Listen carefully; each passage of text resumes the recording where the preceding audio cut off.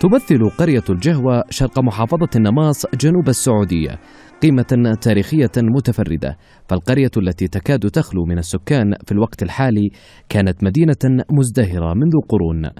سكان الجهوة تركوا على مدى السنين تراثا إنسانيا شامخا.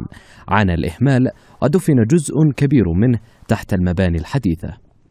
تسمى مدينة الجهوة على حسب ما جاء في المصادر التاريخية وهي معروفة من قبل الإسلام.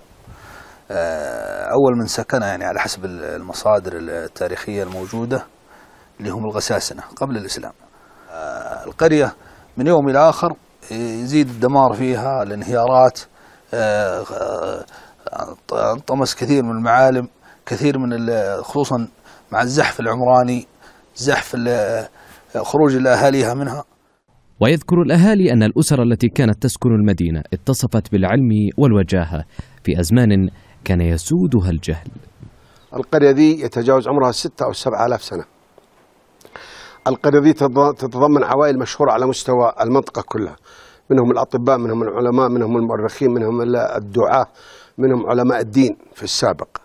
ولا زالت آثارهم إلى الآن. حتى أن بعض الأسر انقرض معظمها ولم يبقى إلا, إلا شخص أو شخصين.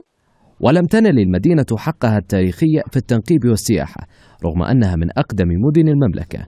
ولا زال السكان ينتظرون أن تلتفت لها هيئة السياحة والتراث الوطني لتحفظ ما بقي من تاريخ أجدادهم.